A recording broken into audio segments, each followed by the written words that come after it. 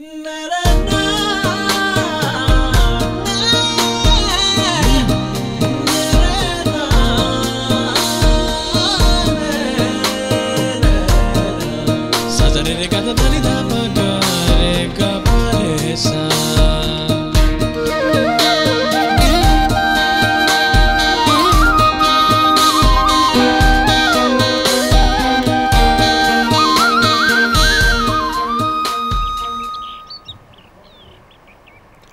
প্রকৃতি ও জীবন অনুষ্ঠানে আপনাদের সবাইকে স্বাগতম।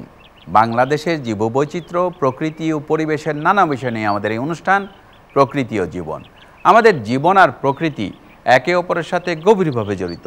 এর নদ নদী, জলবায়ু, গাছপালা, প্রাণী, আমাদের সাথে এদের সম্পর্ক, সচেতনতা ও করণীয় তুলে ধরতে আমাদের এই অনুষ্ঠান।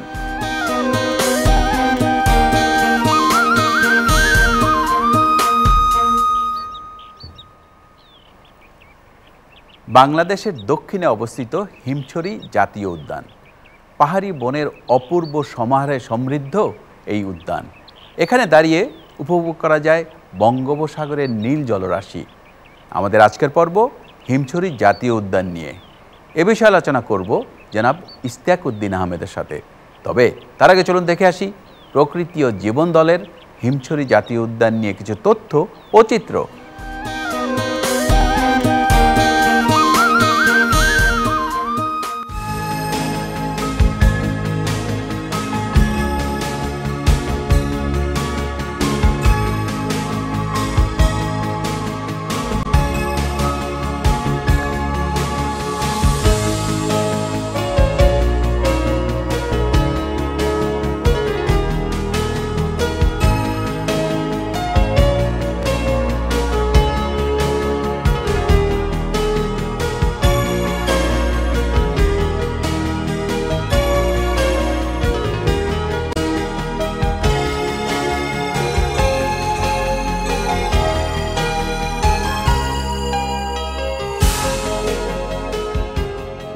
বাংলাদেশের জীববৈচিত্র্য সংরক্ষণে যে প্রাকৃতিক বনভূমিগুলোকে সংরক্ষিত বনাঞ্চল হিসেবে ঘোষণা করা হয়েছে, হিমছড়ি জাতীয় উদ্যান তাদের মধ্যে অন্যতম।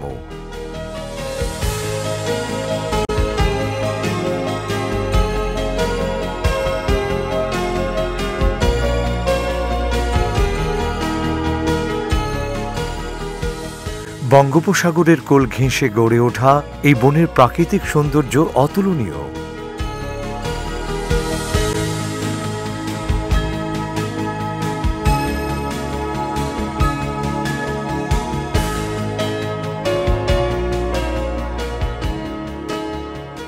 এর একদিকে রয়েছে উঁচু নিচু পাহাড়ি বন, অন্যদিকে বিশ্বের বৃহত্তম সমুদ্র সৈকত।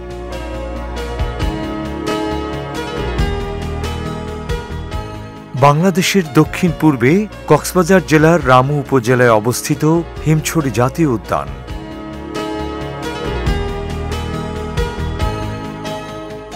কক্সবাজার দক্ষিণ বন বিভাগের অন্তর্গত কলাতলি, ঝিলঞ্জা, চাইন্দা ও হিমছড়ি বন বিট নিয়ে এই জাতীয় উদ্যানটি গড়ে উঠেছে। মূলত বন্য প্রাণী সংরক্ষণ, গবেষণা ও শিক্ষা এবং পর্যটনের সুযোগ বৃদ্ধির উদ্দেশ্যে এই বনাঞ্চলটিকে সংরক্ষিত বনাঞ্চল এবং জাতীয় উদ্যান হিসেবে ঘোষণা করা হয়েছে।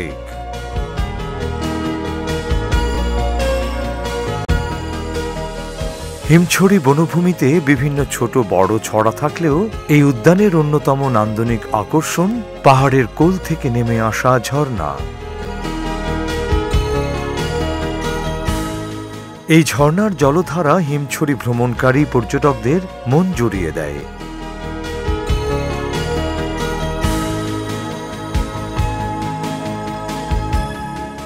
এর পাশাপাশি অধিকাংশ পর্যটকের কাছে এই জাতীয় উদ্যানের অন্যতম আকর্ষণীয় দিক, পাহাড়ের চূড়ায় দাঁড়িয়ে দিগন্ত বিস্তৃত সমুদ্র আর নীল জলরাশি।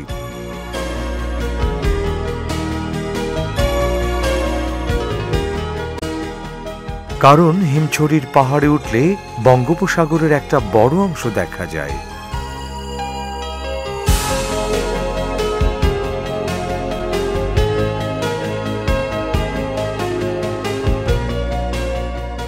হিমছড়ি জাতীয় উদ্যান জীববৈচিত্র্যেও বেশ সমৃদ্ধ।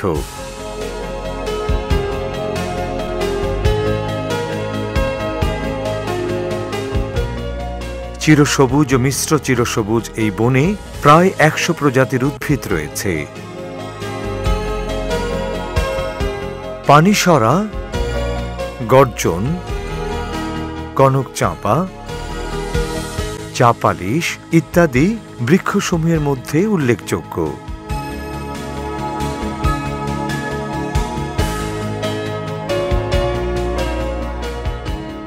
এসব গাছে দেখা যায় রং বেরঙের অর্কিড।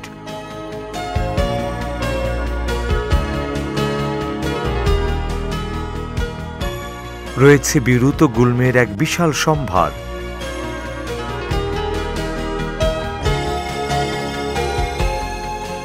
এছাড়া বেশ কিছু প্রজাতির পরাশ্রয়ী ও লতানো উদ্ভিদ দেখা যায়।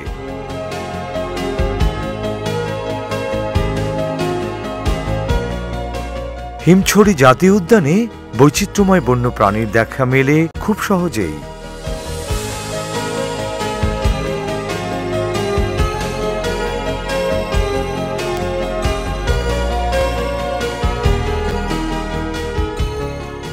এখানে প্রায় দুশো পঞ্চাশ প্রজাতির পাখি দেখা যায়।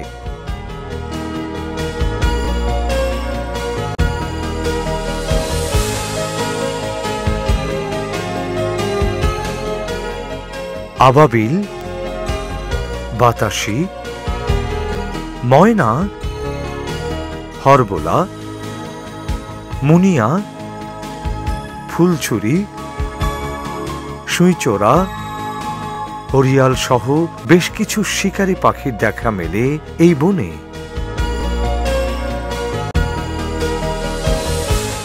পুরো বন জুড়েই এই পাখিদের বিচরণ।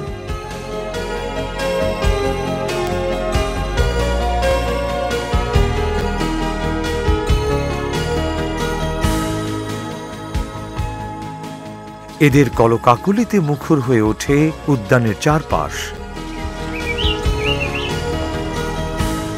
পাখির ডাকে উদ্যান যেন প্রাণ ফিরে পায়।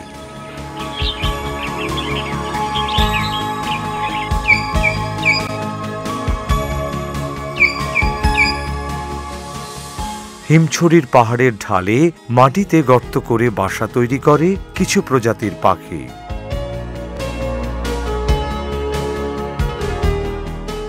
পাখি ছাড়াও উভচর, সরীসৃপ ও স্তন্যপায়ী প্রাণীদের বিচরণ রয়েছে সমগ্র বনাঞ্চল জুড়েই।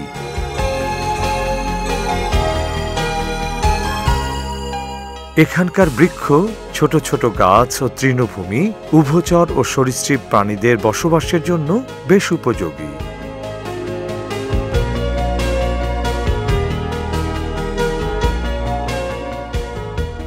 পাহাড়ি ঝর্ণা ও ছড়ার আশেপাশে নানা প্রজাতির ব্যাঙ দেখা যায়।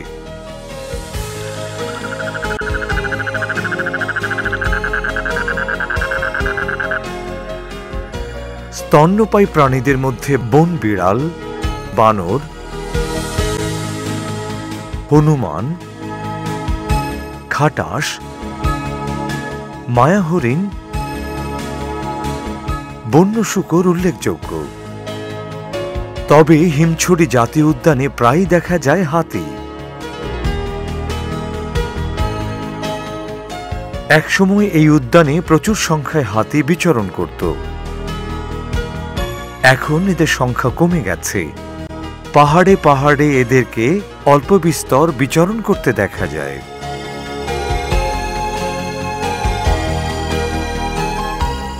এরা এক পাহাড় থেকে অন্য পাহাড়ে একাকী কিংবা ছোট ছোট দলে বিচরণ করে। হিমছড়ি জাতীয় উদ্যান জীববৈচিত্র্য সমৃদ্ধ এবং পর্যটকদের জন্য চিত্তাকর্ষক স্থান হলেও দিন দিন এটি ক্রমেই মলিন হচ্ছে। বিভিন্ন ধরনের বিরূপ কর্মকাণ্ডে দিন দিন ক্ষতিগ্রস্ত হচ্ছে উদ্যানের পরিবেশ ও জীববৈচিত্র্য। এসব কর্মকাণ্ডের মধ্যে রয়েছে অবৈধভাবে গাছ কাটা জ্বালানির জন্য বন থেকে লাকড়ি সংগ্রহ, সংরক্ষিত বন এলাকায় বসতি স্থাপন বন্য প্রাণীর শিকার ইত্যাদি। অধিকাংশ পাহাড়ে বড় গাছ না থাকায় আশ্রয়হীন হয়েছে অনেক প্রাণী। হিমছড়ি জাতীয় উদ্যান বুনো হাতির অন্যতম আবাসস্থল হলেও এরাও খাদ্য সংকটে রয়েছে। এছাড়া পর্যটকদের অসচেতন কর্মকাণ্ডের কারণে ব্যাহত হচ্ছে উদ্যানের স্বাভাবিক পরিবেশ।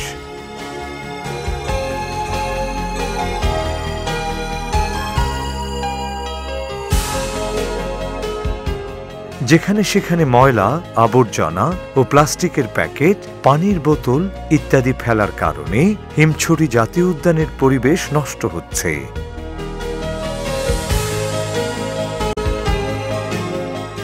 তাই এই বনভূমিকে রক্ষা করতে হলে সরকারের পাশাপাশি বেসরকারি উদ্যোগ নেওয়া প্রয়োজন।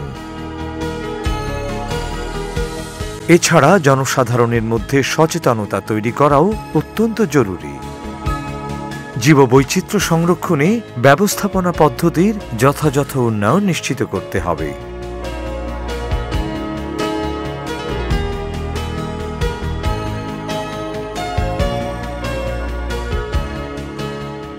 প্রজাতি সংরক্ষণের জন্য নিতে হবে উপযুক্ত সংরক্ষণ উদ্যোগ ও টেকসই ব্যবস্থাপনা। প্রাকৃতিক বন সৃজনের মাধ্যমে বৈচিত্র্যময় বন্য প্রাণীদের জন্য নিশ্চিত হবে নিরাপদ আবাসস্থল।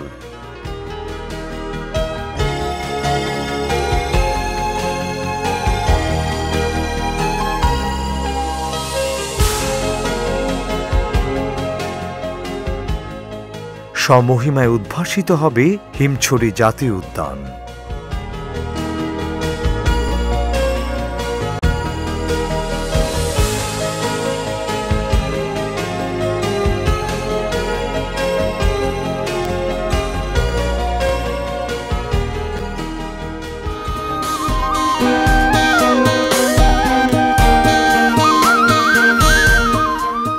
দর্শক মণ্ডলী আমরা তখন দেখলাম হিমছড়ি জাতীয় উদ্যান নিয়ে বিস্তারিত প্রতিবেদন। এবার কথা বলব আমাদের আজকের অতিথি জনাব ইস্তাকুদ্দিন আহমেদের সাথে। ইস্তাক ভাই কেমন আছেন? আছি ভালোই। ধন্যবাদ আপনাকে। ইস্তাক ভাই বহু বছর প্রধান বন সংরক্ষক ছিলেন তারপর এখন একটি বিদেশি সংস্থায় আছেন সেটার প্রধান হিসাবে। আমাদের একটু বলবেন আমাদের দেশে তো অনেক ধরনের উদ্যান আছে। হিমছড়ি যে হিমছড়ি নিয়ে আমরা একসময় অনেক স্বপ্ন দেখতাম আর যেতামও। এর কি অবস্থা বর্তমানে? হিমছড়ি একটি জাতীয় উদ্যান। আমরা যে সমস্ত রক্ষিত এলাকা বা প্রোটেক্টেড এরিয়া বলে থাকি, তার মধ্যে একটি হচ্ছে জাতীয় উদ্যান আর একটি হচ্ছে যেটা বন্যপ্রাণীর জন্য অভয় আশ্রম তো হিমছড়ি জাতীয় উদ্যান, এটি কক্সবাজারে অবস্থিত। এটির অবস্থানটা বিশেষ গুরুত্বপূর্ণ। এটি একদিকে সমুদ্র আর একদিকে পাহাড়ি অঞ্চলে এই হিমছড়ি জাতীয় উদ্যান অবস্থিত। এখানে যে সমস্ত উদ্ভিদ রয়েছে, এগুলি চিরসবুজ উদ্ভিদ। আমাদের যেমন গর্জন, সিভিট বহেরা, চিকরাশি, গামার, জারুল, কদম এ ধরনের এখানে উদ্ভিদ রয়েছে। এই জাতীয় উদ্যানটি সতেরোশো হেক্টর এলাকায় অবস্থিত, যার মধ্যে প্রায় একশো হেক্টর বাফার জোন হিসেবে এবং আরও তিনশো হেক্টর এতে যোগ করা হয়েছে ল্যান্ডস্কেপ হিসেবে। কিন্তু সর্বোপরিভাবে বলতে গেলে, এখানে শুধুমাত্র কিছু এলাকায় জনসাধারণের জন্য উপভোগ করার কিছু ফ্যাসিলিটি রয়েছে, কিন্তু বাকি পুরো এলাকায় তেমন কোনো ধরনের এখানে অ্যাক্টিভিটি করার মতো ফ্যাসিলিটিস তৈরি হয়নি। তো এখানে উন্নয়নের অনেক সুযোগ রয়েছে কাজ করার অনেক সুযোগ রয়েছে। আমরা যদি সত্যিকার অর্থে এটিকে একটি জাতীয় উদ্যান পর্যায়ে নিয়ে যেতে চাই তাহলে এখানে কিন্তু বেশ কিছু প্রকল্প বা কার্যক্রম হাতে নেওয়া প্রয়োজন। বন্যপ্রাণী সংরক্ষণে এই উদ্যানের ভূমিকা কতটুকু? এটি ঘোষণাই করা হয় আসলে কোনো একটি বিশেষ কারণে। হয় কোনো এখানে ইউনিক কোনো উদ্ভিদ রয়েছে অথবা ইউনিক কোনো এখানে বন্যপ্রাণীর প্রজাতি রয়েছে। অথবা সমগ্র পারিপার্শ্বিক অবস্থানটা এরকম যে এর একটি বিশেষ বৈশিষ্ট্য রয়েছে। তখনই এগুলিকে জাতীয় উদ্যান হিসেবে ঘোষণা করা হয়। এবং জাতীয় উদ্যানের আরেকটি কাজ হলো, এটি আপনার অভয়াশ্রমের মতো অত রেস্ট্রিক্টেড নয়। এখানে সাধারণত শিক্ষা সফর, গবেষণা বা অন্যান্য কাজ, শিক্ষণীয় যে কোনো কাজ করা যেতে পারে। যেহেতু এটা অনেকটা আংশিক রেস্ট্রিক্টেডও বলা চলে সেই হিসেবে এটা বন্যপ্রাণীর রক্ষার জন্য বেশ উপযুক্ত স্থান। তবে সঠিক অর্থে সেই পদক্ষেপগুলি নেওয়া প্রয়োজন। এখানে কি ধরনের বন্যপ্রাণী রয়েছে? বাংলাদেশের জন্য হাতির একটি বিশাল বিচরণ ক্ষেত্র এবং আপনার মায়া হরিণ তারপরে অনেক পাখি রয়েছে বানর তারপরে বন্য শুকর সিভিট এবং সরীসৃপ জাতীয় সাপ রয়েছে ব্যাং রয়েছে গুইসাপ আছে। আরও অনেক ধরনের বন্যপ্রাণী এখানে আছে তবে এদের আবাসস্থল হিসেবে এটি যেরকম উপযুক্ততা থাকার প্রয়োজন ছিল সেটি ততটা নেই। আচ্ছা এই হিমছড়ি জাতীয় উদ্যানের হুমকি কি ধরনের রয়েছে? অনেক হুমকি এখানে রয়েছে বিশেষ করে এটি কক্সবাজার একটি পর্যটন শহর। এই পর্যটন শহরে প্রচুর লোকের সমাগম। এটি যেমন সম্ভাবনা রয়েছে তেমনি এটির হুমকিও প্রচুর। আমি সম্ভাবনার কথাটা বলি, তারপরে আমি হুমকিতে আসছি। আমরা যদি এই ধরনের একটি জাতীয় উদ্যানকে আরও বিভিন্ন কার্যক্রম দিয়ে, বিভিন্ন রকম সুবিধাদি তৈরি করে পর্যটকদের জন্য তৈরি করা যেত, তাহলে পর্যটকরা সমুদ্র সৈকতের বাইরেও এই সমস্ত অঞ্চলে এসে সময় কাটাতে পারতেন, উপভোগ করতে পারতেন। হুমকির মধ্যে এখানে প্রধানত হুমকি রয়েছে সেটি হচ্ছে, এখানে ভূমি জবরদখল হচ্ছে। এছাড়া কক্সবাজারের কাছাকাছি হওয়াতে কক্সবাজার শহরেই প্রচুর জ্বালানি কাঠের প্রয়োজন এবং যথেষ্ট পর্যটক আসেন, তাদের বিভিন্ন ধরনের প্রয়োজনে প্রচুর জ্বালানি কাঠের যোগান দিতে হয়। তো জ্বালানি কাঠের একটা প্রচুর চাহিদা রয়েছে। এখানে যেটি গুরুত্বপূর্ণ সেই বিষয়টি হচ্ছে, এখানে একটি ঝর্ণা আছে। ভিতরে একটি ছড়া রয়েছে, পাহাড়ি ছড়া, যেটি মাঝের ছড়া। বন না থাকলে কিন্তু পানির উৎস থাকে না। বন পানির উৎস সৃষ্টি করে। আজকে এই ঝর্ণাগুলি অনেকটা মৃতপ্রায় এবং যে ছড়াটি রয়েছে এটিও অনেকটা মৃত। এছাড়া অন্যান্য বিশেষ করে কৃষি ফসলেরও অনেক জায়গায় জবরদখল করে কৃষি ভূমিতে রূপান্তরিত হয়েছে মানুষ সেটেলমেন্ট করেছে। এই হুমকিগুলি এখানে রয়েছে প্রচুর। এগুলোর আসলে নিরসন করা প্রয়োজন এবং এটি নিরসন করতে গেলে সকলের একটি সমন্বিত উদ্যোগ প্রয়োজন। আমরা কি এই উদ্যানের ব্যবস্থাপনায় সাধারণ জনগণকে সম্পৃক্ত করতে পারি? অবশ্যই। আমার মনে হয় সেটি এটির সবচেয়ে বড় সম্ভাবনার একটি দিক এবং এখানে সম্ভবত এবং আমার জানা মতে এখানে সহব্যবস্থাপনার একটি ইউনিট রয়েছে। সেটি আমার মনে হয় ভালোই তারা কাজ করছেন এবং তাদের এই কাজের পরিধি আরও বৃদ্ধি করা প্রয়োজন। বাংলাদেশের বনাঞ্চলের যে অবস্থা এবং বনাঞ্চলের আশেপাশে যে প্রচুর জনবসতি আছে বা জনগণের একটি চাহিদার সাথে এই বনাঞ্চলগুলি চাহিদা মিটিয়ে যাচ্ছে ক্রমাগতভাবে, সেই প্রেক্ষিতে আমার মনে হয় ব্যবস্থাপনাতেও জনগণের সম্পৃক্ততা থাকা প্রয়োজন, একান্তই প্রয়োজন। তাহলেই আমার মনে হয় এটি জনগণেরও যেমন চাহিদা মিটবে এবং তাদেরও একটি মালিকানা সত্ত্ব এর সাথে আমার মনে হয় ডেভেলপ করবে, যেটি এই উদ্যানকে আরও সুসংহত এবং বিশেষ করে সমৃদ্ধ করতে সহায়তা করবে। এই উদ্যান রক্ষায় আপনার কি কোনো সাজেশন আছে? এখানে বিশেষ করে বৃক্ষরাজির অপ্রতুলতা রয়েছে এবং নেই বললেই চলে অনেক ক্ষেত্রে। আমার মনে হয় একটি ব্যাপক অর্থে একটি বনায়ন করা প্রয়োজন এবং সেটি দেশি প্রজাতি দিয়েই এবং বন্যপ্রাণীর খাদ্যের যাতে সংস্থান হয় সেই সমস্ত প্রজাতি নির্বাচন করে এখানে বনায়নের একটি বিশাল কার্যক্রম হাতে নেওয়া যেতে পারে। এবং সেই সাথে যেই হুমকিগুলির কথা কিছুক্ষণ আগে আলোচনা করলাম, সেই হুমকিগুলি প্রতিহত করা প্রয়োজন এবং এখানে প্রকল্প গ্রহণ করা উচিত এবং আরেকটি বিষয় যেটি আমি মাঝের ছড়া একটি ছড়ার কথা উল্লেখ করেছি এই ছড়ার হয়তো কিছুটা ব্যবস্থাপনা করা যেতে পারে। এটি হয়তো বাঁধ দিয়ে পানি সংরক্ষণ করা যেতে পারে। এই পানিটি হয়তো জনগণেরও কাজে আসবে, আশেপাশে যারা রয়েছে। এখানে বিভিন্ন রকম পর্যটনের ব্যবস্থা করা যেতে পারবে এবং যে ঝর্ণাটি, একটি নামকরা ঝর্ণা ছিল, হিমছড়ি ঝর্ণা, সেটিও মৃতপ্রায় সেটি পুনরুদ্ধার করা যেতে পারে এবং বনায়ন করলে বন যদি টিকে থাকে, আমার মনে হয় পানির উৎস সৃষ্টি হবে এবং সেখানে পানির প্রবাহেরও তৈরি হবে। তবে এখানে স্বল্পমেয়াদী মধ্যমেয়াদী এবং দীর্ঘমেয়াদী আমার মনে হয় পরিকল্পনা গ্রহণ করা প্রয়োজন। কারণ একটি বনায়ন করলে তার গাছের পরিপক্কতা গাছের পরিপক্কতা বলতে আমি বোঝাচ্ছি তার বড় হওয়ার যে সময়টুকুন এটি অনেক দীর্ঘ। অতএব এই পরিকল্পনাটুকুনে এই দীর্ঘ সময়ের সম্পৃক্ততা থাকা প্রয়োজন। আচ্ছা অনেক ধন্যবাদ আপনাকে। অনেক কিছু জানা গেল আপনার কাছ থেকে। ধন্যবাদ। দর্শক মণ্ডলী প্রকৃতি ও জীবন অনুষ্ঠানের এবারের সেগমেন্টটি হচ্ছে, আপনি জানেন কি? চলুন জানা যাক, হিমছড়ি জাতীয় উদ্যান নিয়ে কিছু তথ্য। আপনি জানেন কি? হিমছড়ি জাতীয় উদ্যানটি প্রতিষ্ঠিত হয় উনিশশো আশি সালে। হিমছড়ি জাতীয় উদ্যানে প্রায় একশো সতেরো প্রজাতির উদ্ভিদ দেখা যায়। এই উদ্যানে প্রায় পঞ্চান্ন প্রজাতির স্তন্যপায়ী, ছাপ্পান্ন প্রজাতির সরীসৃপ, ষোলো প্রজাতির উভচর এবং দুশো ছিয়াশি প্রজাতির পাখি বিচরণ করে। হিমছড়ি জাতীয় উদ্যানের মোট আয়তন প্রায় এক হাজার সাতশত হেক্টর। আমাদের এবারের সেগমেন্টটি হচ্ছে কুইজ।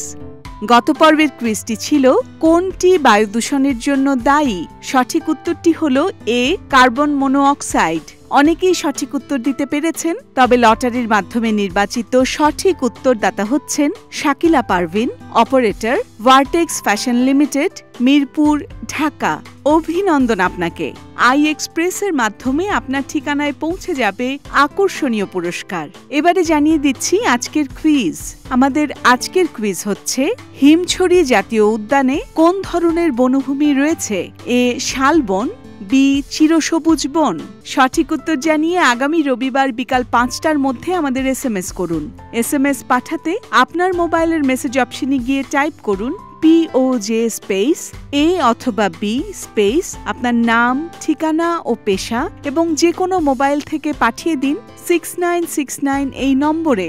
অনুষ্ঠান সম্পর্কে আপনার মতামত জানাতে ইমেইল করুন info at POJF dot org এছাড়াও প্রকৃতি ও জীবন অনুষ্ঠানের পর্বগুলো দেখতে ও অন্যান্য তথ্য জানতে ভিজিট করুন W W W dot POJF dot org এবং W W W dot Facebook dot com slash POJ foundation এই ঠিকানায়, অথবা যোগাযোগ করুন শূন্য এক সাত সাত তিন, শূন্য চার নয়, শূন্য চার নয় এই নম্বরে। শুধু দর্শক, হিমছড়ি জাতীয় উদ্যানের সৌন্দর্য ও জীববৈচিত্র্য আগের মতো আর নেই। মানুষের নানাবিধ কর্মকাণ্ডে এর পরিবেশ ধ্বংসের মুখে। সঠিক ব্যবস্থাপনার মাধ্যমে এই উদ্যানের জীববৈচিত্র্য রক্ষায় সবাইকে এগিয়ে আসতে হবে। সুন্দর প্রকৃতিতে গড়ি সুস্থ জীবন। এ আশা নিয়ে শেষ করছি আজকের অনুষ্ঠান। আপনারা সবাই ভালো থাকুন, সুস্থ থাকুন।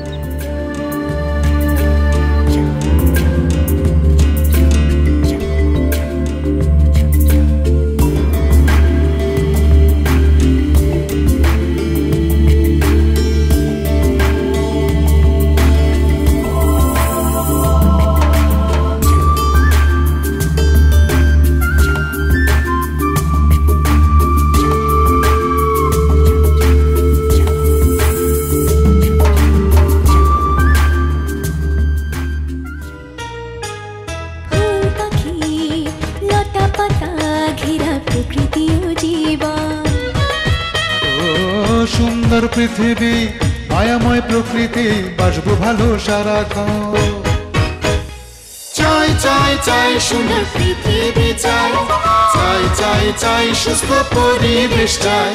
ফুল পাখি লতা পাতা ঘেরা প্রকৃতি ও জীবন। ও সুন্দর পৃথিবী মায়াময় প্রকৃতি বাসবো ভালো সারাক্ষণ এসো হাতে হাত ধরে শপথ করে সুন্দর সুস্থ পরিবেশ গড়ি সুন্দর সুস্থ পরিবেশ গড়ি সুন্দর সুস্থ পরিবেশ গড়ে।